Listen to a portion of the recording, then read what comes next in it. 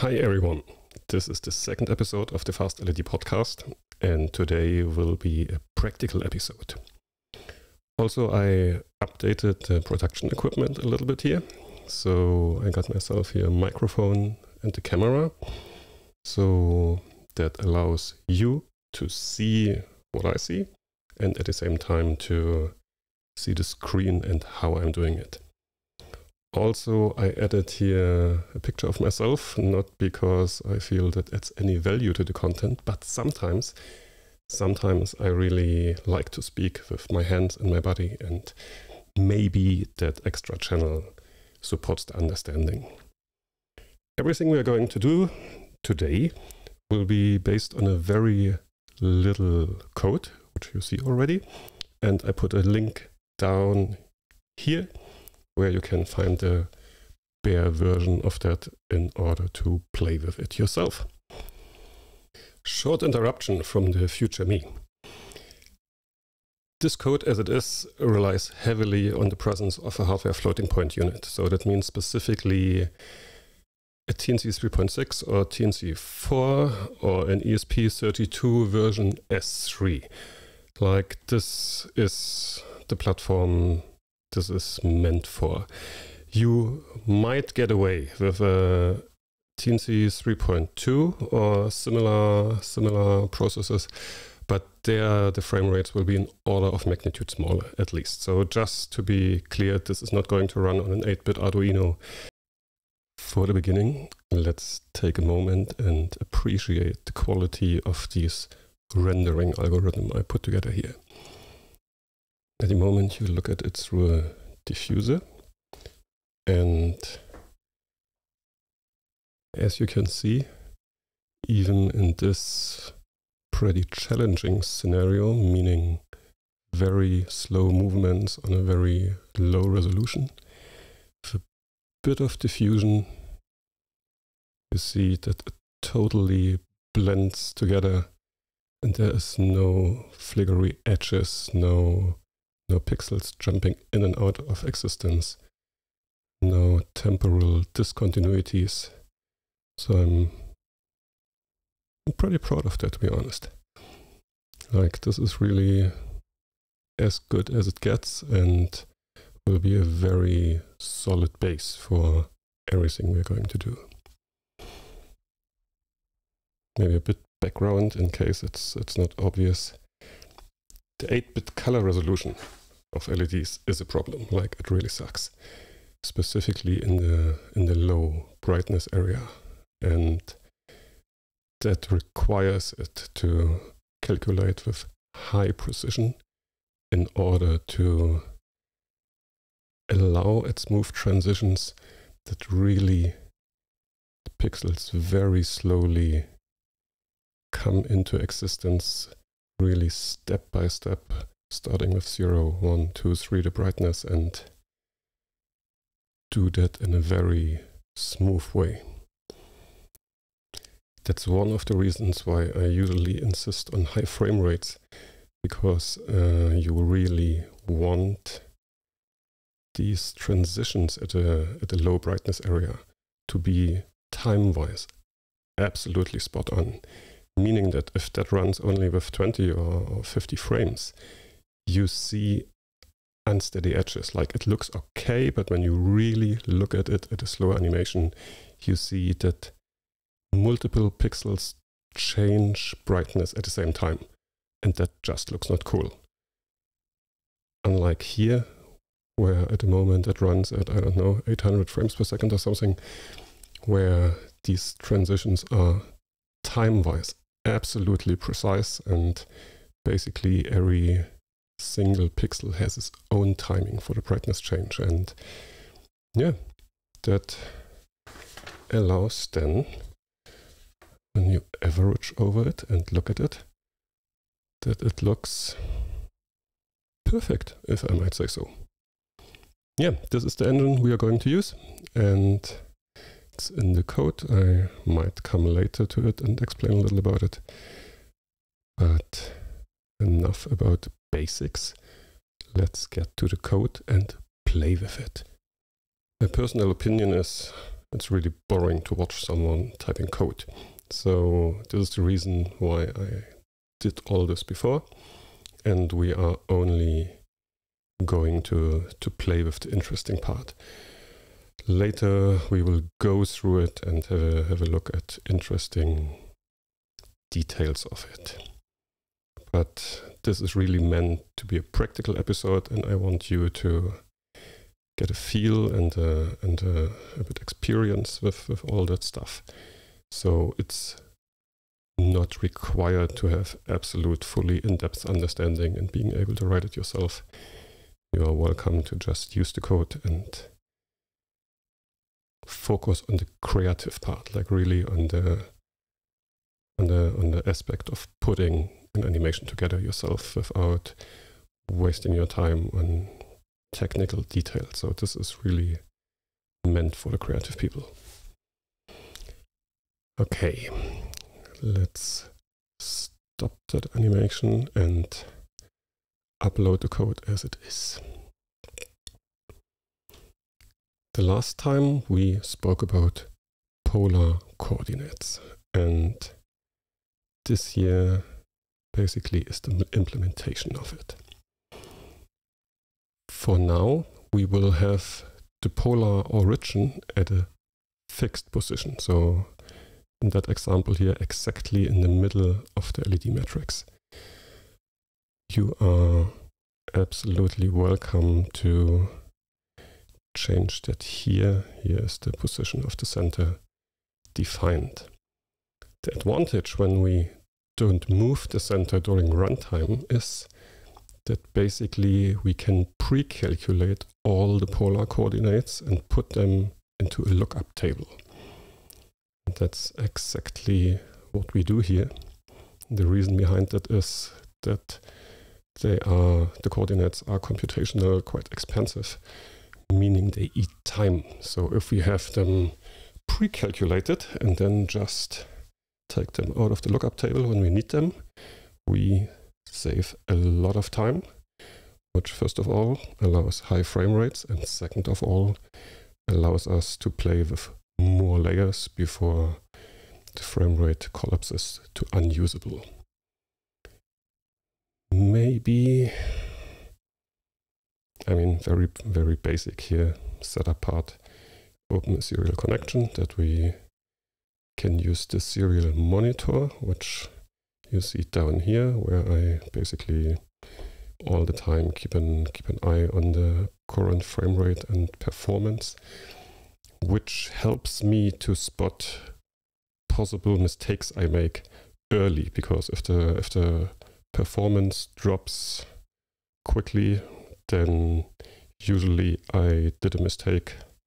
Stuff like calculating parameters for every pixel instead of for every frame talking about that community member sutaburosu supported me a lot in getting this here together. I wrote the initial code and was pretty unhappy with the performance at the beginning.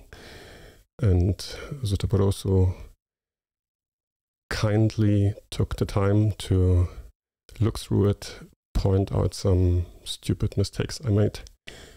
And yeah, in general, was really, really a big support to get this here together. And even if I had a specific question, like I had something going, but the code looked ugly. It looked really ugly. So I asked him in the middle of the night, Hi, look, it works, but how would you write it? And he could answer every single of my questions. So, man, thanks a lot. Your support is appreciated. Let's have a look at the basic structure of the code. It starts with including FastLED library, then there is the width and height of the matrix defined.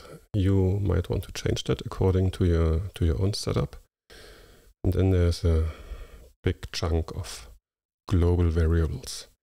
I know it's considered bad style, or it's not just considered bad style. It is bad style, but I'm I'm a hobbyist coder, and I was very happy that I got it working, and I'm totally open to have the have the code optimized and cleaned up further later. But here I really focused on the on the creative part and to get it going. Later we might not we might uh, that needs a rework anyway, uh, specifically when we when we use this code on uh, multi-core processors like an ESP32 and want to leverage parallelization of the stuff. Basic setup part, open a serial connection in order to have the, the serial monitor or the serial plotter available. Then here the, we define which kind of setup we use. You might want to go for deadline, like here you just put in your data pin and your LED type, like everything as you know it. I, I assume you have used FastLED before. If not, then please have a look here at GitHub for basic usage. There it's all explained how to get this up and going. Then there's the main loop and the following things happen. For every frame, here are a bunch of, of variables, which basically are the time basis for some oscillators or moving offsets, which we can use later. So here are the ratios of them defined, or you could call it the frequency or the, the length of the period basically they these numbers define the proportion of the oscillators to each other. We will come to that. The numbers are here defined. For now they are static, later they could be dynamic, but we, we start really easy. Ratios designed, then we calculate all kind of oscillators, which we can use later. Just for a brief look, basically is all based on the internal millisecond counter, which, which represents the runtimes and startup. Then we adjust this with a global speed setting. Then here we set individual ratios for the counters. And based on that, like these are the linear C, D, E, F it's basically a constantly raising number over time. This is for, for linear transitions. And in the next chapter here, we have angular offsets, meaning that these are numbers which all the time go from 0 to type p uh, to 2p, back to 0, back to 2p, and that so uh, it creates basically a sawtooth sine wave. And that allows us to do all kind of trigonometry within the loop without having it too expensive by giving it ridiculous high angles and by that slowing the functions down. Again, thanks to sutaburosu for pointing that out. So here, this function keeps it in a small range.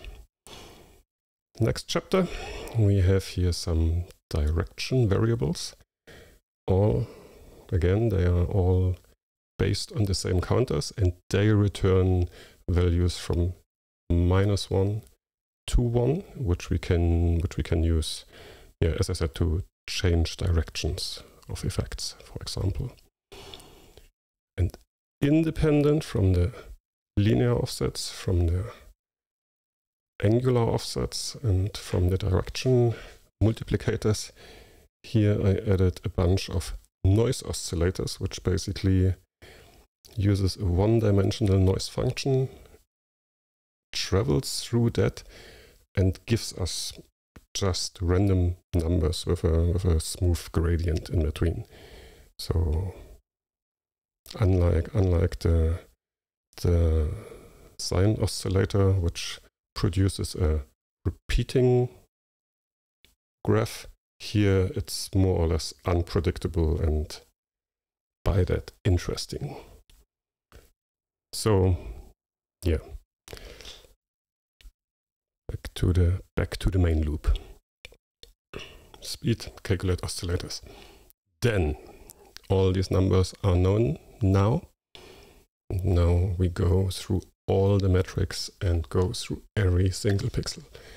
So through all the x and all the y values, and there happen the following things. First, we pick the polar coordinates of the pixel we are at right now. And we do that here by just getting it from the lookup table. How does the lookup table come into existence? It's this little this little part here, which is entirely based on the on the last episode where I explained how how the polar coordinates are calculated and thus you put that simply in practice. It's really just that. So first of all, we calculate here the, the deltas, meaning that the polar origin as specified by center x and center y is somewhere and uh, in order to get then the, the distance from the Cartesian origin we go here for delta x and delta y by just looking for the for the difference. And based on these two values then we get distance from the origin and the angle from the from the origin line so this is basically all I talked about the last time for half an hour here in a, in a very brief piece of code. After we have the distance and we have the angle stored here. Now we come to the manipulation of the value. Last time I, I called it what we can do to that polar coordinates and that's what we are going to talk about today specifically. In a very trivial case, we would just say the new angle stays exactly the old angle and the new distance stays the old distance. Meaning nothing moves, nothing happens. And this is exactly what you see right now in the LED picture. It is static because nothing happens. Now, instead of leaving the values as they are, we can do things to them. For example, let's take the angle we just found in the, in the lookup table and let's add, I don't know, pi to them.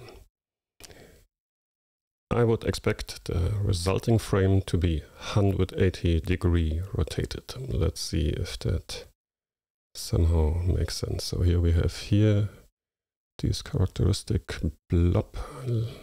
Let's see if that moves to the up left. Voila, it does. So 1 pi equals 180 degree rotation. You might find that boring. Then let's instead of adding a constant value, let's add an angular oscillator. Let's say we start with angle C. So we have the angle we had, and here we add an offset that always goes from 0 to type uh, to 2p to pi. And theoretically that should result in a constant smooth rotation of the whole picture around the center point.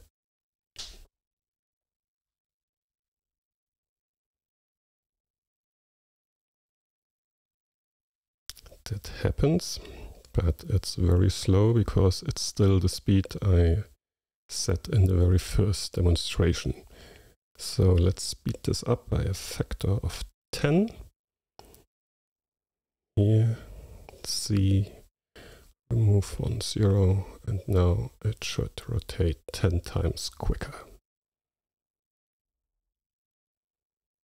Voila, there we go. Maybe it makes sense if I put on the diffuser at this point. Because it's not so not so useful to look at LEDs which are totally bleeding out here optically anyway, so maybe this makes it a bit better. Another thing you might find useful is what happens when you multiply the original angel with a integer value. So let's say in instead of keeping the angle as it is, let's say we double it.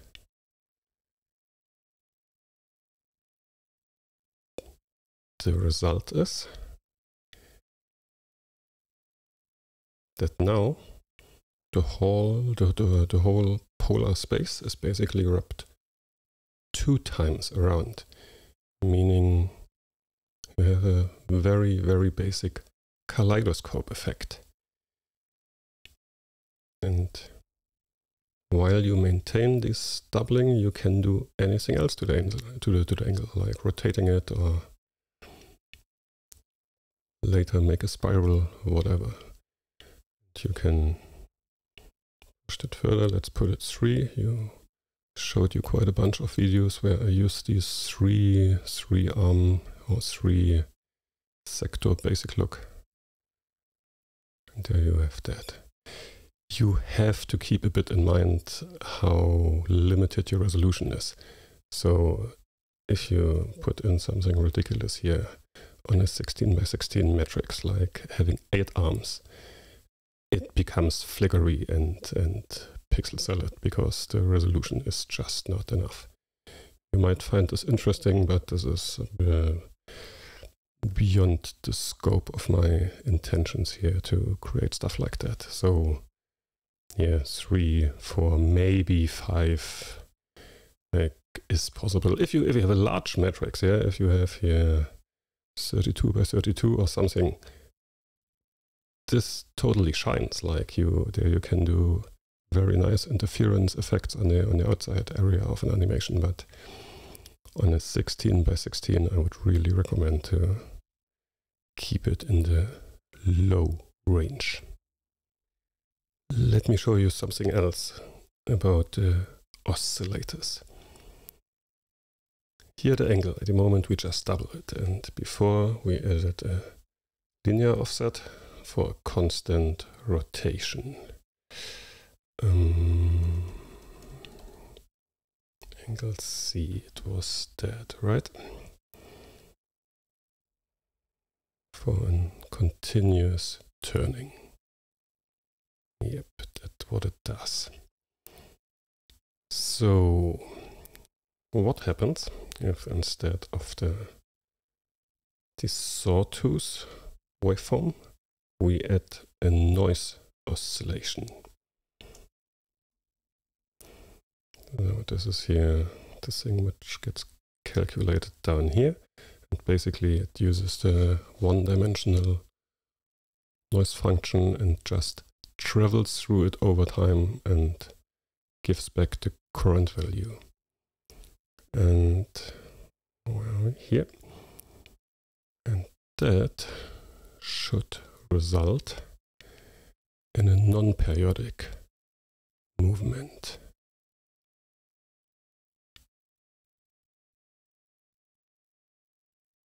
So you see, depending on the current value, it goes back and forth, but in a kind of unpredictable way, unlike unlike a sine function, where it's repeating again and again. Here, the angle and the and the, the moment is basically random, and could, for example, add even another noise oscillator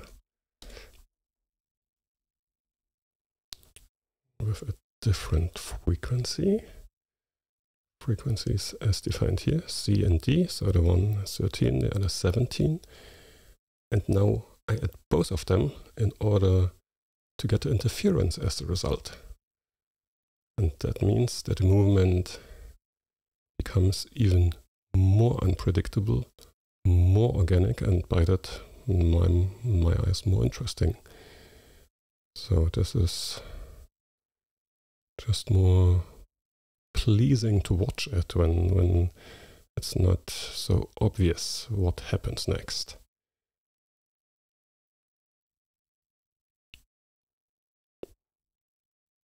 These are just two noise oscillators. And while we maintain this back and forth movement as we have it, we of course could also again add just the constant rotation to it. So that was angle C. Now there should be a continuous slow rotation while the back and forth continues. That's not so obvious. Let's say we take here E and let's say we make E way faster.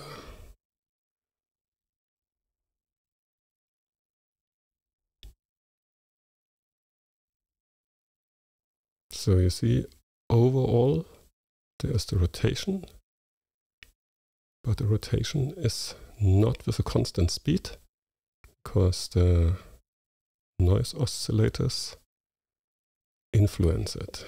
We, we go here a bit slower, we could even come to a point where it stops or shortly goes backward. Let's see if that works.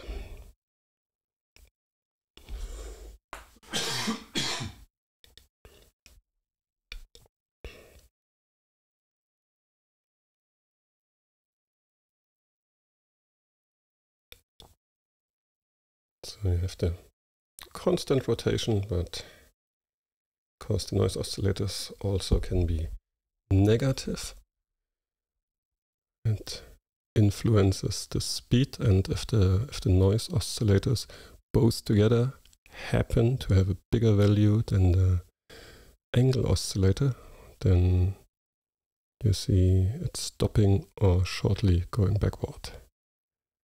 Oh yeah, close to that edge here. Let's say 20, then it will happen for sure.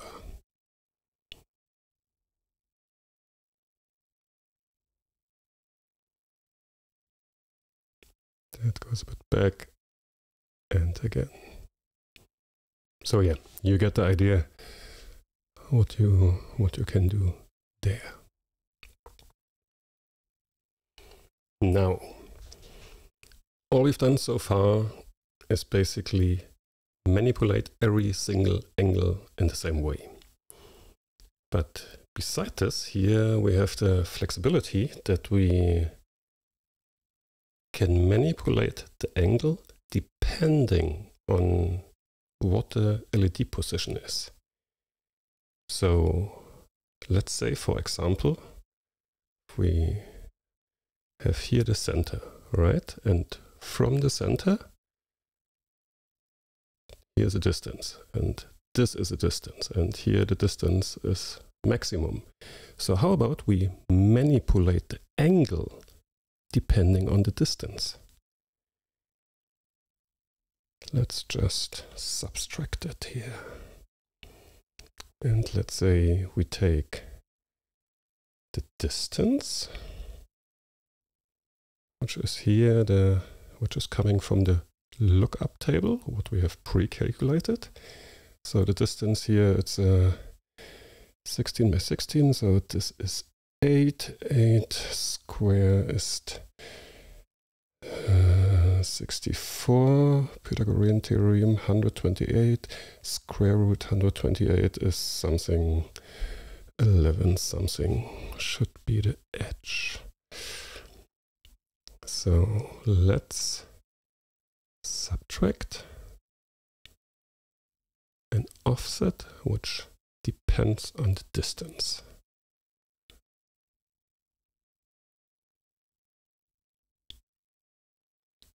Voila, there you have the spiral effect. And basically with this number here you can influence how how strong the effect is. Um, yeah, just to show that if you go for a slower number, the effect gets bigger and can pretty much escalate that until it becomes pixel salad again. Yeah. Maybe let's get rid of the doubling here.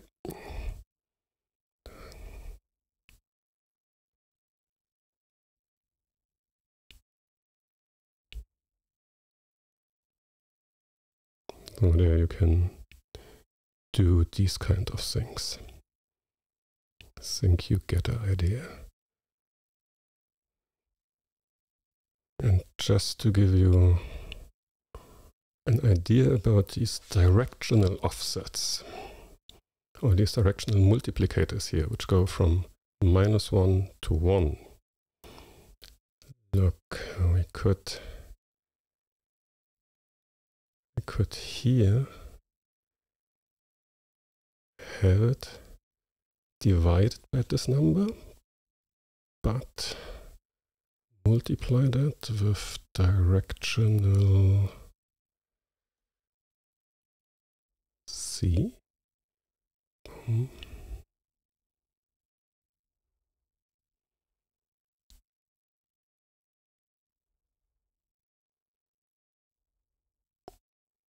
Oh no, that, that ends up in division by zero, doesn't it?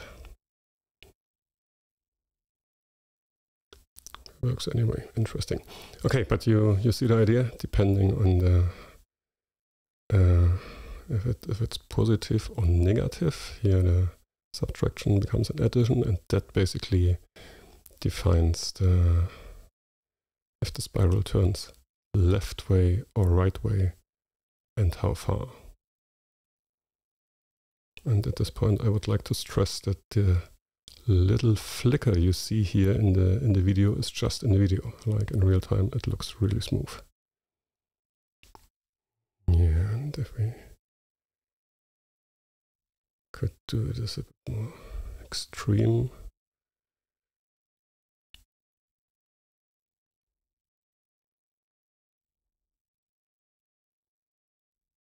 Oh no, we divide by it. We do it a bit more smooth now. Gets not twisted that far and stays a bit more in these figure and these still recognizable part. But you see, the whole value now is always smaller than what we add here. And by that, we don't get this forth and back rotation. So just for fun, let's say we want to triple the intensity of the spiral effect.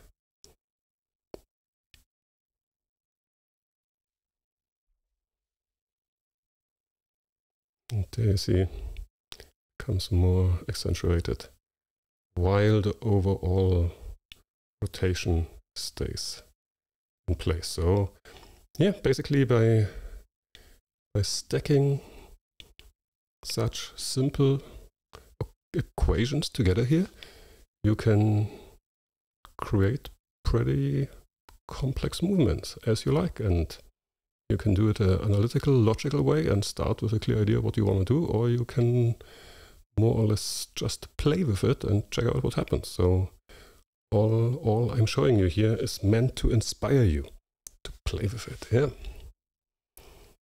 So for today, so much to the spirals.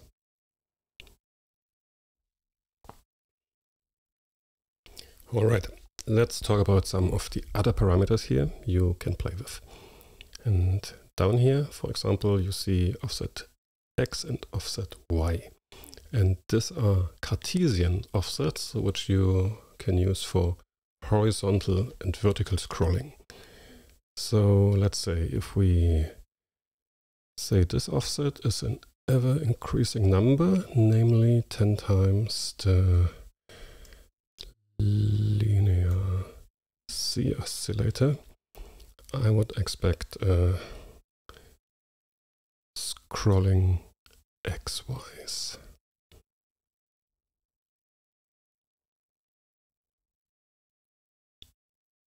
Oh, damn it. I, I mixed up X and Y somewhere. But it doesn't matter for, for now. Um, don't let it disturb you, but it should be both in a different direction at least. So if we put in here linear C times 10, then that now should be horizontal scrolling.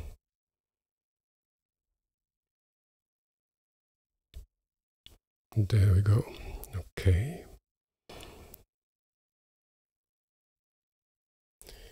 By combining the manipulation of the Cartesian coordinates, you can do interesting things too. Like, let's say you have these linear scrolling here in one dimension, and in the other dimension, you start at a random point and you add, let's say, 10 times the directional oscillator. So that should produce some left-right wobble now, additional to the scrolling. Let's see if that works.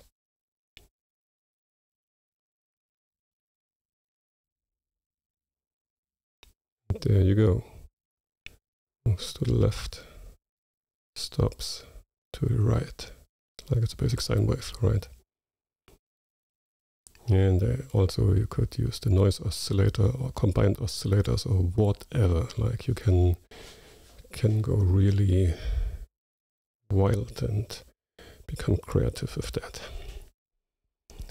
Then let's say we keep that movement as it is come back to the angle and add here,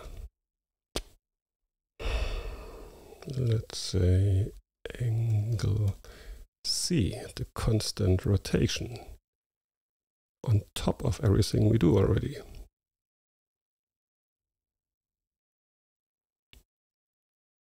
And there the movement comes already kind of complex.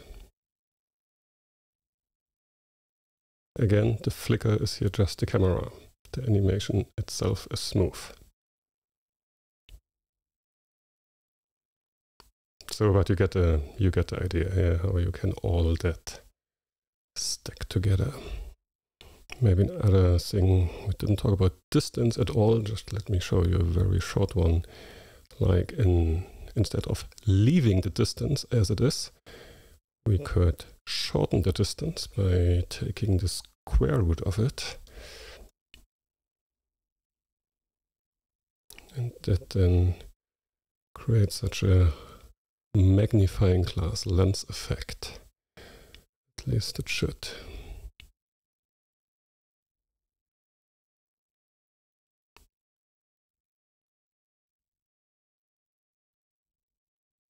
Yeah, looks not as clean as I wish, but you you get the idea. Yeah, you can manipulate uh, the distance as well. Earlier I said I wanted to walk you through the basic structure of the program, and I didn't do this yet, so let's do it now. We go through all the pixels, we get the distance and angles from the lookup table. We set all the parameters in a way we enjoy and then we call render pixel based on all that stuff and save the result in show one. And render pixel, this is the basic core of all this magic and it's ridiculously compact and short. So as I explained in the last video, it basically transforms the polar coordinates back into the Cartesian ones by multiplying here new angle or the, the cosine function of the new angle with the new distance, other dimension sine with new distance, then that result gets multiplied by the scale, which I didn't talk about yet. And here the Cartesian offsets we just played with right now. So that is the base for the new Cartesian, new x and new y.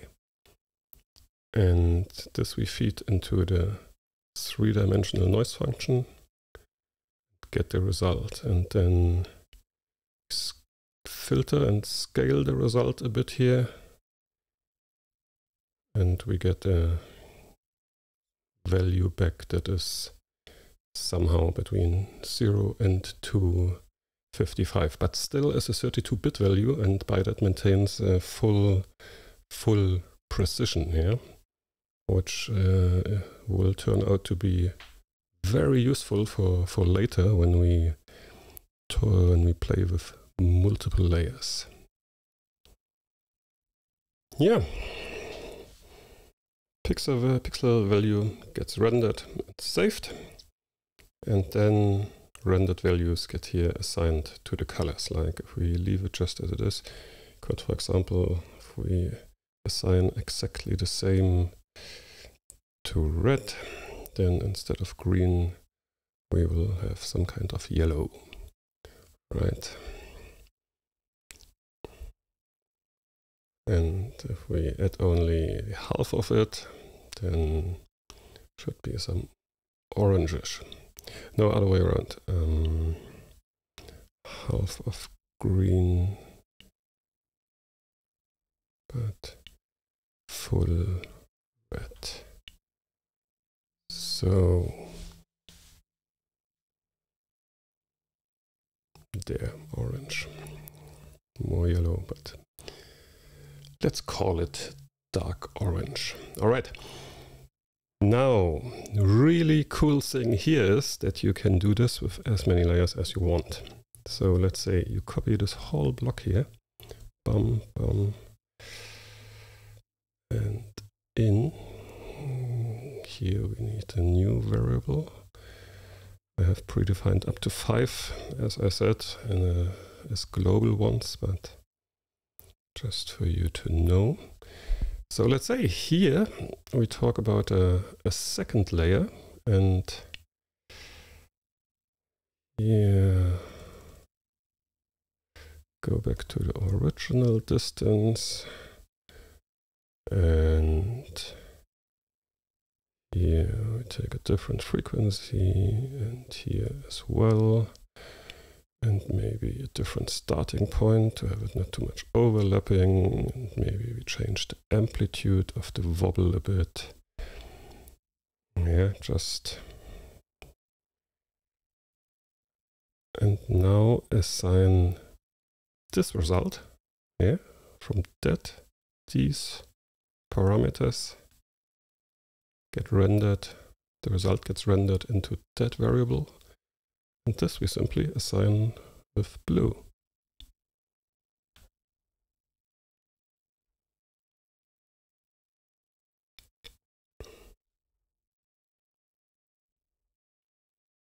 There you see you have two entirely independent layers as overlays and then you can just just we will we will talk about merging methods and uh, how to how to combine layers in creative ways in in a, at another time but just very shortly can do for example here I don't know could subst subtract them from each other. By that color part of one layer by another one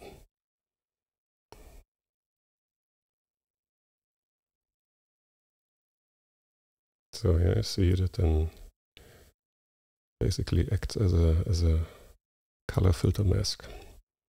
Stuff like that. Uh, you can do pretty wild things here because because uh, the result like here's color mapping and then it gets written to the frame buffer but before that happens render pixel map float here, write pixel to flame, frame buffer. First, we do a little sanity check for the RGB values, and that has a reason.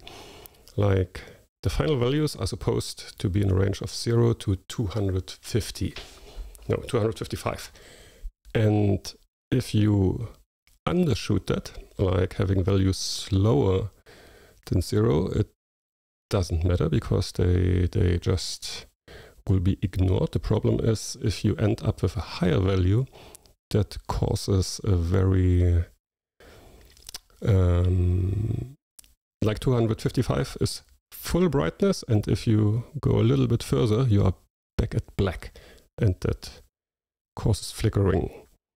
So for the sanity check here, in case the value gets negative because you did something wild, then we just uh, mirror that back into the positive space, right? So that we don't discard possibly interesting results. We just mirror it into into the zero zero to positive space. And the second step, we check if any of the values is higher than 255. And if so, we make sure it stays there at this maximum in order to avoid these flickering here. That's why the simply uh, subtracting the layer works here, or why I can do that without concern. Could also, for example, I could uh, add them together for a bit more intensity.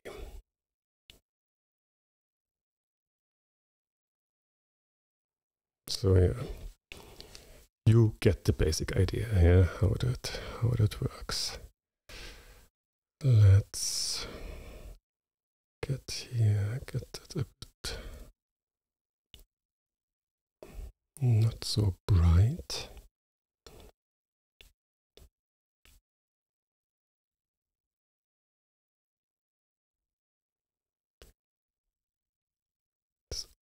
Also a thing I would like to show you. Let's come back to the subtracting that here. Yeah.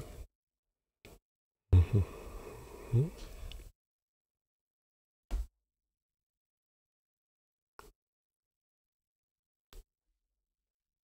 And the good thing is, because we here still have 32-bit resolution, we can do things like look at it, look at animation, and just go, hey, you know what?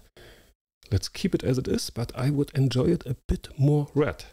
So we can simply here add a factor and say, I don't know, give me double of the red as before, without being concerned of overshooting, because uh, if it bleeds out into full brightness, it, it stays full brightness. Nothing, nothing bad happens. So there we go. The whole thing is more bright, yeah? I think you, you get the idea what's possible here. But again, uh, we will talk about these merging methods, methods in detail. Yeah, so much for today about very simple layer parameters.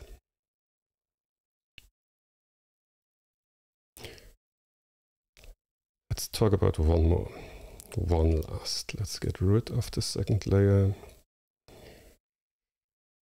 Um, back to zero, blue to zero, and let's say red shows us layer 1.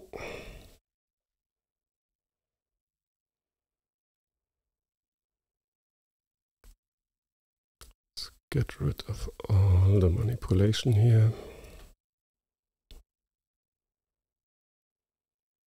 Linear scrolling is fine. So back at pure linear scrolling? Yes, we are.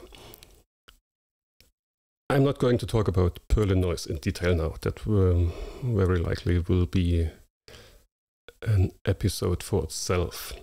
But Perlin noise in general is a multidimensional gradient noise function, and here we use a three-dimensional implementation.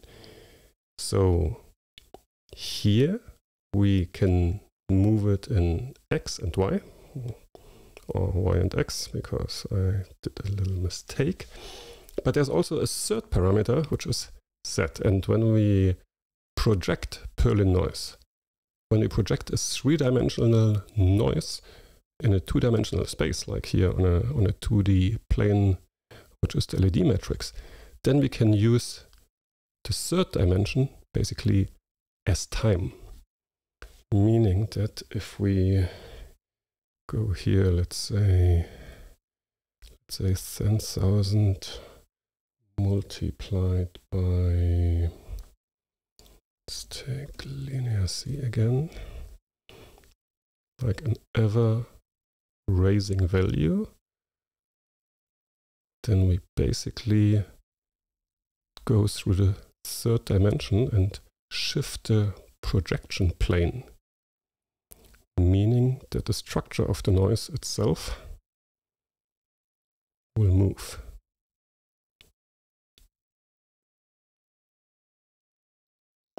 Let's do that a bit faster, that's more visible.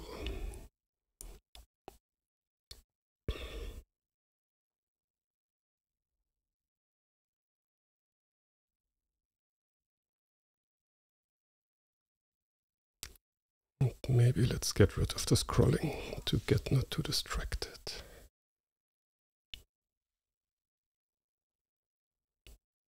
So let's come back to a standing still image. But while the image is standing, we are traveling through the third dimension and by that the noise structure or the projection we use changes and we have these kind of, of movements here. Just very, very brief. Here's a beautiful Wikipedia article about Perlin noise. I encourage you to read it and to find other sources. Pure noise looks something like that in a 2D space, but basically it looks like that. Yeah, it is a, like this here would be a four-dimensional version meaning one, two, three dimensions for x, y, and z, and the fourth dimension is time. Yeah, and what we are doing here is basically that we cut a slice through that cube and move the slice over time and use that as, as our projection here. I might talk about that later more, but just that you have a very basic background in case you have never heard about Perlin noise. Very, very cool thing and computer graphics wouldn't be as it is without that invention.